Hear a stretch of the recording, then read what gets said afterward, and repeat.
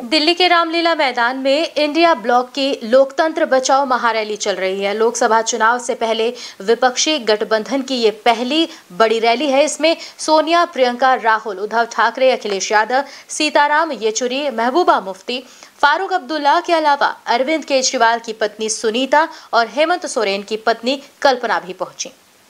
Rally को सबसे पहले उद्धव ठाकरे ने संबोधित किया। उद्धव ने कहा, कल्पना सोरेन और सुनीता केजरीवाल हमारी बहन है। जब इस तानाशाही सरकार के खिलाफ हमारी बहनें लड़ रही हैं तो हमारे जैसे भाई कैसे पीछे रह सकते हैं?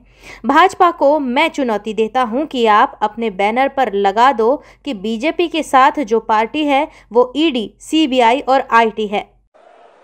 हम सबको पता है, कोई चुनावी रैली नहीं है। अपनी दो बहनें हिम्मत से लड़ रही है। अगर बहन हिम्मत से लड़ रही है तो भाई कैसे पीछे रहेगा? और इसलिए हम सब, दोनों अपनी जो बहनें हैं, कल्पना जी हैं, सुनीता जी हैं, आप चिंता मत करो। सिर्फ़ हमें नहीं, पूरा अपना देश हिंदुस्तान आपके साथ में है। देश में जो स्थिति है, मैं दोहराना नहीं चाहूँगा। कुछ दिन पहले आशंका थी कि क्या हमारा देश तानाशाही की ओर चल रहा है। लेकिन अब वो आशंका नहीं रही, अब वो सच्चाई है। अगर बीजेपी सरकार को ऐसे लगते होगा, लग रहा होगा कि अरविंद जी को अरेस्ट किया, हेमंत जी को अरेस्ट किया तो लोग डर जाएँगे। लेकिन उनको आज तक पता नहीं, उन्होंने अपने देशवासियों को कभी पहचाना नहीं। मेरे भारत का हर कोई डरने वाला नहीं, लड़ने वाला है। और अगर हिम्मत है तो बाकी आपकी सारी एजेंसीज हैं ईडी सीबीआई इनकम टैक्स जैसे हम इंडिया गठबंधन बनाकर सबके सामने आए हैं, अगर आप में हिम्मत है तो बीजेपी को मैं कहता हूँ, चुनौती देता हूँ कि बाकी सारी लोगों को छोड़ दो। आप सीधा आपके बैनर पर लगा दो कि बीजेपी के साथ जो तीन साथी पार्टी है, वो ईडी इनकम टैक्स और सीबीआई है। लेकिन अब समय आया है कितने दिन तक हम उनकी आलोचना करते रहेंगे? अब तो उनका सपना ऐसा है कि 400 पार। मैं पूरे देश को आह्वान करना चाहता हूँ कि एक व्यक्ति और एक पार्टी की सरकार देश के लिए खतरनाक हो गई है। और अब वो समय आया है कि एक पार्टी और एक व्यक्ति की सरकार नहीं चलेगी। पूरे देश को मैं आह्वान करता हूँ कि हम सबको अब चाहिए, मज़बूत देश चाहिए। और मिलीजुली सरकार हमें लानी ही होगी। केजरीवाल की पत्नी सुनीता केजरीवाल ने रैली को संबोधित करते हुए कहा, मोदी जी ने मेरे पति को जेल में डाल दिया, क्या उन्होंने ठीक किया? आपके केजरीवाल को ज़्यादा दिन तक ये जेल में नहीं रख पाएँगे। आपके केजरीवाल शेर हैं, करोड़ों लोगों के मन में बसते हैं। सुनीता केजरीवाल ने अरविंद का जेल से भेजा गया मैसेज भी पढ़ा। उन्होंने केजरीवाल की छह गारंटियाँ पढ़ी। पहला, पूरे देश में 24 घंटे बिजली। दूसरा, गरीबों की बिजली फ्री। तीसरा, हर गाँव मोहल्ले में शानदार सरकारी स्कूल। चौथा, हर गाँव और मोहल्ले में क्लिनिक। ज़िले में मल्टी स्पेशलिटी अस्पताल। पांचवा, किसानों को एमएसपी और छठा, दिल्ली को पूर्ण राज्य का दर्जा। भाईचारा होगा। आज मैं देश के 140 करोड़ लोगों को ऐसा भारत बनाने के लिए आह्वान करता हूँ। यदि आप सब इंडिया गठबंधन को मौका देते हैं, ज़िम्मेदारी सौंपते हैं तो हम सब मिलकर ऐसे महान राष्ट्र का निर्माण करेंगे। केवल नाम में इंडिया गठबंधन नहीं है, दिल में इंडिया है, दिल में।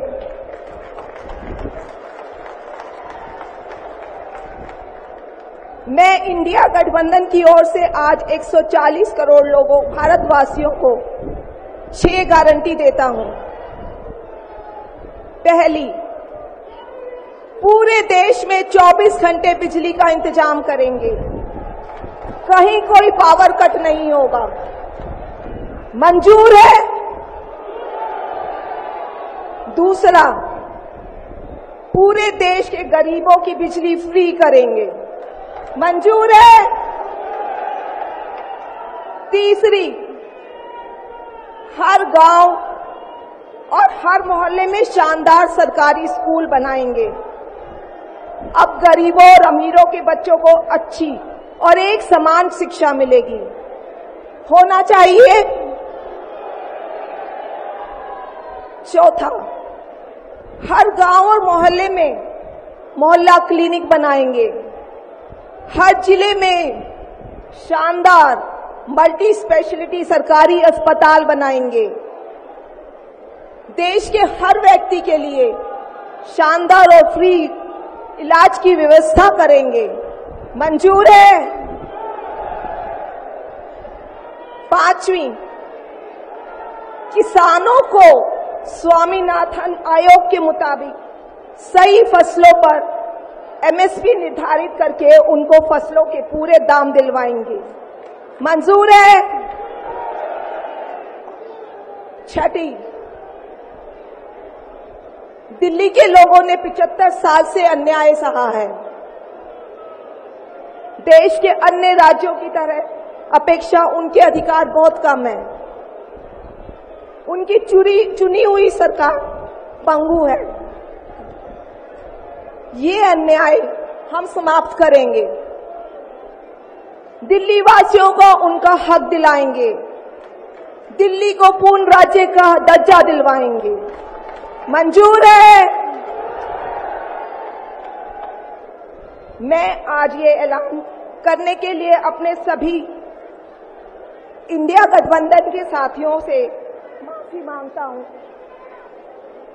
क्योंकि ये ऐलान करने के पहले मैंने उनसे उनकी अनुमति या सहमति नहीं ली।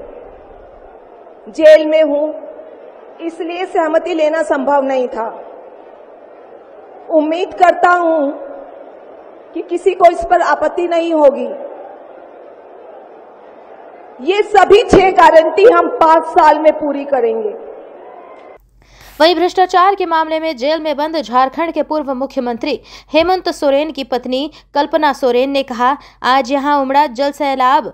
इस बात की गवाही दे रहा है कि लोकतंत्र को खत्म करने के लिए जिस तरीके से तानाशाह ताकतों ने अपने कदम बढ़ाए हैं, उसका अंत जनता इस चुनाव में कर देगी। आज ये उमड़ा ऐतिहासिक इस मैदान में सैलाब, इस बात की गवाही दे रहा है कि लोकतंत्र को खत्म करने के लिए जिस तरीके से तानाशाह ताकतों ने अपना कदम बढ़ाया है, उसको अंत करने के लिए ये संकल्प सभा यहाँ पे आमंत्रित हुई है, जिसमें आप सभी जन, भारत के हर एक देश, हर एक प्रांत से आए हुए हैं। आप सभी को बहुत बहुत शुक्रिया। बहुत बहुत बधाई कि आपने हमारी ताकत को, इंडिया गठबंधन की ताकत को बढ़ाया है। आपके यहाँ उपस्थित होने से हम सब मंचासीन जितने पार्टी के कार्यकर्ता हैं, पार्टी के माननीय गण हैं, सभी को ताकत मिलती है, क्योंकि हमारी ताकत आप सब, यहाँ भारत की 140 करोड़ की जनता है, जिनका बहुमत, जिनका हिम्मत जिनका ताकत हम सभी को मिला है। आज भारत में बाबा साहेब जी के संविधान के प्राप्त जितनी भी गारंटियाँ हैं, उन सभी को एनडीए सरकार के द्वारा उसे नष्ट किया जा रहा है। इनकी गारंटियों की गारंटी कौन लेगा? जिन्होंने एक एक करके हमारे संविधानिक संस्थाओं के संविधानिक मूल्यों को तहस नहस किया है। महारैली को संबोधित करते हुए बिहार के पूर्व उप मुख्यमंत्री व आरजेडी नेता तेजस्वी यादव ने कहा, हम लोगों ने पहली रैली पटना में की, दूसरी मुंबई में और तीसरी दिल्ली में हो रही है। देश के कोने कोने में जहाँ भी हम जा रहे हैं, वहाँ जनता का साथ मिल रहा है। जिस हिसाब से देश को बांटने का काम किया जा रहा है, नफरत की राजनीति की जा रही है। हम चाहते हैं कि इस लड़ाई में हमें आपका साथ मिले। जो लोग नारा लगाते हैं, अब की बार 400 पार, उनका मुँह है। कुछ भी बोलेंगे, लेकिन एक बात तय है कि जनता ही मालिक है। वे भाजपा के लोग नारा लगा रहे हैं, जो ऐसा लगा रहे हैं कि पहले से ही ईवीएम सेटिंग हो चुकी है। देश में अघोषित इमरजेंसी लागू हो चुकी है। देश में सबसे बड़ा कोई दुश्मन है तो बेरोजगारी, महँगाई, गरीबी। प्रधानमंत्री मोदी ने कोई नौकरी नहीं दी, सब कुछ का निजीकरण कर दिया। हम लोगों ने बिहार में सत्रह महीने में पाँच लाख नौकरी देने का काम किया। आज किसान तबाह है, युवा परेशान है, लेकिन प्रधानमंत्री मोदी को किसानों से मिलने का समय नहीं है। मोदी जी मिलेंगे तो प्रियंका चोपड़ा से मिलेंगे। किसानों से नहीं मिलेंगे। और आप लोगों ने गोविंदा का फ़िल्म का एक गाना सुना होगा कि तुम तो धोखेबाज हो। वादा करके भूल जाते हो। रोज रोज मोदी जी, तुम ऐसा करोगे? रोज रोज मोदी जी, तुम ऐसा करोगे? जनता जो रूठ गई तो हाथ मलोगे। अरे तुम तो धोखेबाज हो। वादा करके भाग जाते हो। तो आप सपा अध्यक्ष अखिलेश यादव ने कहा, ये रामलीला मैदान ऐतिहासिक मैदान है और आज हम लोग यहाँ एकत्रित हुए हैं। एक साथ खड़े हुए हैं तो इस मैदान से ये ऐलान होने वाला है कि सत्ताधारी जो दिल्ली में बैठे हैं, वो अब ज़्यादा दिन नहीं रहेंगे। आज हम दिल्ली आए हैं, सुना है दिल्ली वाले आज दिल्ली से बाहर गए हैं। दिल्ली से जो आज बाहर जा रहे हैं, वो हमेशा हमेशा के लिए बाहर जा रहे हैं। ये लोग भाजपा, जो 400 पार का नारा दे रहे हैं, अगर आपके 400 पार हो रहे थे तो आम आदमी पार्टी के नेता से आपको घबराहट किस बात की है? मैं तो उस उत्तर प्रदेश से आता हूँ, जहाँ के लोगों ने भाजपा को मौका दिया और उनका स्वागत किया। लेकिन याद रहे कि उत्तर प्रदेश के लोग जो स्वागत करते हैं, वो धूमधाम से विदाई भी करते हैं। आपने चुने हुए लोगों और मुख्यमंत्रियों को जेल भेज दिया। जिस लोकतंत्र के लिए दुनिया में भारत का सम्मान होता था, आज उसी भारत की दुनिया में किसी ने सबसे ज़्यादा थू थू करवाई है तो वो भाजपा के लोगों ने करवाई। इनके दस साल का कार्यकाल आप देखेंगे तो ये ब्रह्मांड की सबसे झूठी पार्टी है। ये 400 पार नहीं 400 हारने जा रहे हैं। ईडी, सीबीआई से डराकर सबसे ज़्यादा चंदा वसूलने का काम अगर किसी ने किया है तो वो भाजपा ने किया है। ऐतिहासिक मैदान है और आज जब हम लोग इकट्ठे यहाँ हुए हैं, जब हम आज सब मिलकर के एक साथ खड़े हुए हैं तो इस मैदान से ये ऐलान होने जा रहा है कि हुक्मरान जो दिल्ली में बैठे हैं, वो अब ज़्यादा दिन रुकने वाले नहीं हैं। आज हम लोग दिल्ली में आए हैं। सुना है लोग, दिल्ली वाले आज दिल्ली से बाहर गए हैं। ये समझ लेना, हम सब लोग आने वाले हैं। और दिल्ली से जो बाहर जा रहे हैं आज, वो हमेशा हमेशा के लिए बाहर जा रहे हैं। राहुल गांधी ने कहा यह संविधान को क्यों मिटाना चाहते हैं? क्योंकि ये आपका धन आपसे छीनना चाहते हैं। मैंने जाति जनगणना की बात की, रोज़गार की बात की, क्योंकि देश के सामने यही सबसे बड़े मुद्दे हैं। इसलिए अगर आप लोगों ने दम से वोट नहीं दिया तो इनकी मैच फिक्सिंग सफल हो जाएगी और देश का संविधान खत्म हो जाएगा। अगर संविधान खत्म हो गया तो देश के दिल पर बहुत बड़ी चोट होगी। तो ये जो चुनाव है, ये देश को बचाने का, संविधान को बचाने का और गरीबों के हक को बचाने का चुनाव है। आजकल आईपीएल के मैच चल रहे हैं। देखते हो आप लोग? मैच फिक्सिंग शब्द सुना है आपने। सुना है? जब बेईमानी से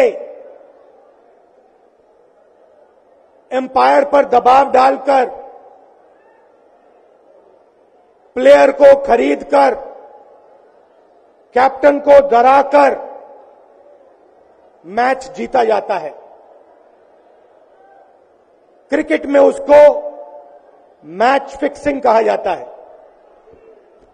हमारे सामने लोकसभा का चुनाव है। अंपायर किसने चुने? नरेंद्र मोदी ने।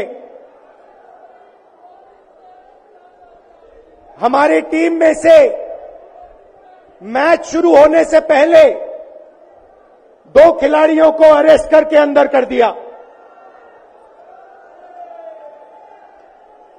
तो भाई और बहनों ये जो चुनाव हो रहा है, नरेंद्र मोदी जी, इस चुनाव में मैच फिक्सिंग करने की कोशिश कर रहे हैं। ये जो उनका 400 सीट का नारा है, ये बिना ईवीएम के, बिना मैच फिक्सिंग के, बिना सोशल मीडिया और प्रेस पर दबाव डालकर, खरीदकर, ये 180 पार नहीं होने जा रहा है। सब मिलाकर। आप देखिए, कांग्रेस पार्टी विपक्ष की सबसे बड़ी पार्टी है। हमारे सारे के सारे बैंक अकाउंट बैंक अकाउंट बंद कर दिए गए हैं। चुनाव के बीच में देश की सबसे बड़ी ऑपोजिशन की पार्टी के सारे के सारे अकाउंट बंद कर दिए। हमें कैंपेन चलाना है। हमें लोगों को प्रदेशों में भेजना है। पोस्टर लगवाने हैं। सारा का सारा जो हमारे रिसोर्सेज हैं बैंक अकाउंट बंद कर दिए गए तो ये कैसा चुनाव हो रहा है? नेताओं को धमकाया जाता है, पैसे देकर सरकारों को गिराया जाता है, नेताओं को जेल में डाला जाता है। केजरीवाल जी को, सोरेन जी को ये पूरी की पूरी मैच फिक्सिंग करने की कोशिश की जा रही है। इंडिया गठबंधन की महारैली में कांग्रेस अध्यक्ष मल्लिकार्जुन खड़गे ने भी बात कही। यह मंच है अनेकता में एकता विविधता में एकता। यह दर्शाने के लिए आज यह सभा आयोजित हुई है। मैदान पर हो रही लोकतंत्र बचाओ रैली में पधारे आप सभी साथियों का मैं दिल से स्वागत करता हूँ। और ये मंच है यूनिटी इन डाइवर्सिटी हमारे एकता में, हमारे विविधता में एकता है। ये ये दर्शाने के लिए आज ये जो मीटिंग यहाँ पर बुलाई है, और इसके लिए मैं हमारे सभी साथियों का धन्यवाद करता हूँ।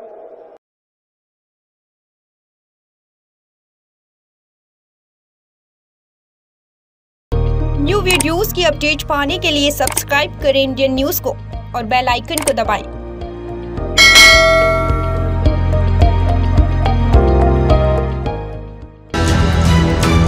ये है इंदू ब्रॉडकास्टिंग प्राइवेट लिमिटेड और आप देख रहे हैं इंडियन न्यूज़ हर पल, हर क्षण, हर सच